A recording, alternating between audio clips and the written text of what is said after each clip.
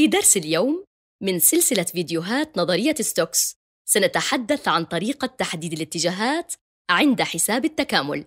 أولاً، متجه الوحدة العمودي على هذا السطح في الفراغ ثلاثي الأبعاد، إما أن يتجه نحو الأعلى كأنه يخرج من السطح هكذا، أو إلى الأسفل أي نحو الداخل، فهذان المتجهان عموديان على هذا السطح، ولديكم أيضاً المنحنى الذي يحيط بالسطح ويشكل حدوده، وهناك اتجاهان للمسار على طول المنحنى، إما عكس اتجاه عقارب الساعة أو مع عقارب الساعة.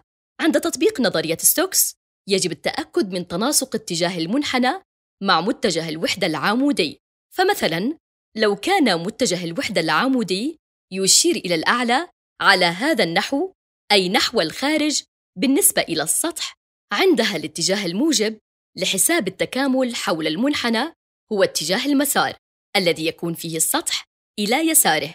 انظروا هنا. إذا تخيلتم رجلاً يقف على المنحنى ورأسه في اتجاه متجه الوحدة العمودي هكذا. عندما يسير الرجل حول المنحنى حتى يكون السطح المحصور في المنحنى إلى يساره يجب أن يسير عكس اتجاه عقارب الساعة. هذه القاعدة التي يجب اتباعها عند تطبيق نظرية ستوكس. لكن لو كان متجه الوحدة العمودي يشير في الاتجاه الآخر أي نحو الداخل. عندها يجب أن يكون المسار في الاتجاه الآخر. لاحظوا أن الرجل يجب أن يكون في نفس اتجاه متجه الوحدة العمودي أي أن رأسه إلى الأسفل وحتى يكون السطح إلى يساره عند السير على المنحنى عليه أن يسير في هذا الاتجاه مع عقارب الساعة.